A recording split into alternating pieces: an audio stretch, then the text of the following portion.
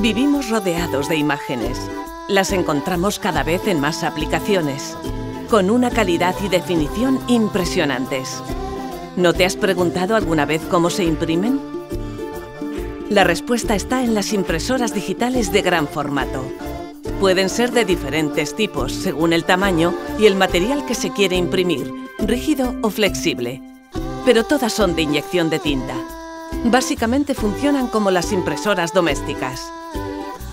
Pero, aunque parecen simples, estas máquinas esconden una alta tecnología. Y es que la revolución digital está transformando el mundo de la producción gráfica, aportando mayor versatilidad, tiradas más cortas y personalizadas, así como mayor precisión en los colores. El proceso se inicia con el envío del documento a la memoria de la impresora.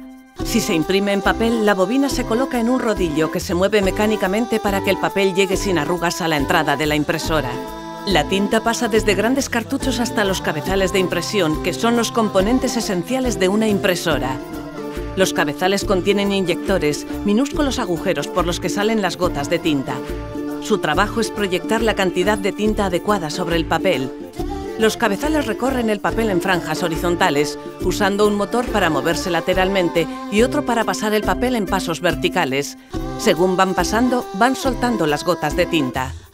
De esta forma, a partir de los colores básicos, se obtiene toda la gama de colores, aunque las impresoras grandes utilizan más. A medida que se imprime el renglón, otro rodillo arrastra el papel hacia la salida, así hasta que terminan los datos de la memoria.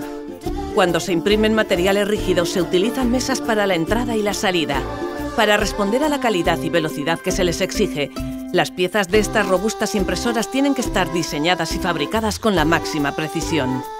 La producción gráfica sigue dando grandes pasos en ecología, calidad, diversidad de materiales y flexibilidad para dar a nuestras vidas la mejor imagen.